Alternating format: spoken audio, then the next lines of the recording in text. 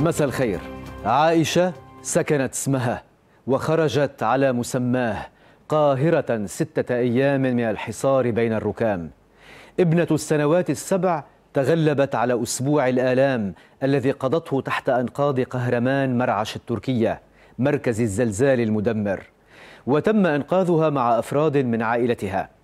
والطفلة الطالعة إلى نور الحياة واكبتها أيادي رفعت الأرواح إلى فوق الأرض وأنقذت عددا من الأطفال بعمليات غاية في الصعوبة تتوج بصمت يسود المكان ليسمح برصد خفقات من هم تحت الأرض.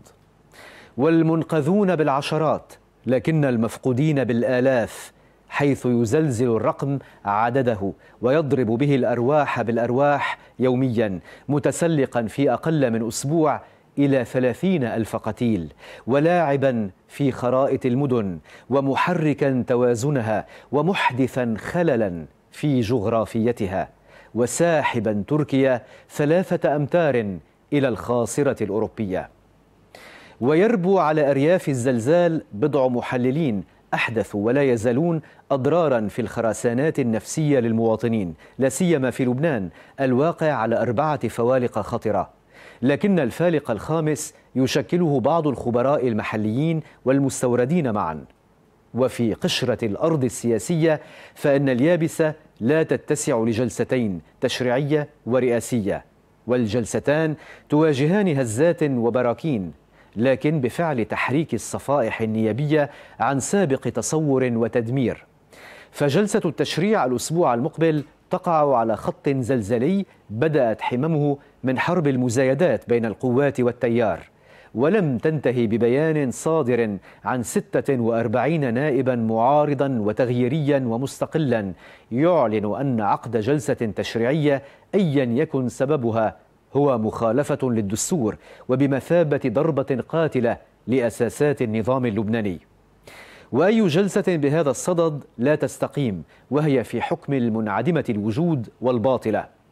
واستند النواب إلى المواد 49 و74 و75 من الدستور التي تنص صراحة على تحويل المجلس النيابي إلى هيئة ناخبة ملتئمة بشكل دائم عند خلو سدة الرئاسة الأولى.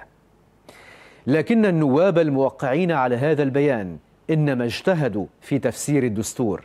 وأقدموا في تفسيرهم هذا على حل مجلس النواب وتعطيله وضرب أهم المؤسسات الديمقراطية لأن المواد الواردة أعلاه لا ترهن المجلس معتقلا ومعطلا في انتظار انتخاب الرئيس بل تحدثت عن جلسة ملتئمة حكما وخلال انعقاد الجلسة لا يجوز للمشرع أن يدرج على جدول الأعمال أيا من المواد الخارجة عن المهمة الانتخابية.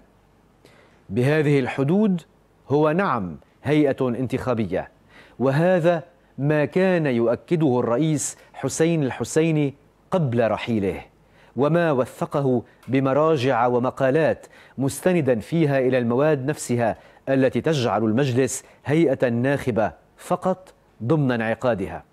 ومن حق النواب أن يطالبوا بجلسات انتخابية مفتوحة وأن يعتصموا أو ينضم إلى النائبين ملحم خلف ونجاد صليبة اللذين يجاهدان وحدهما في مسار طويل ويعيشان الظلمة والبرد وقساوة تحد دخلاه عن إرادة واقتناع بضرورة الوصول إلى رئيس.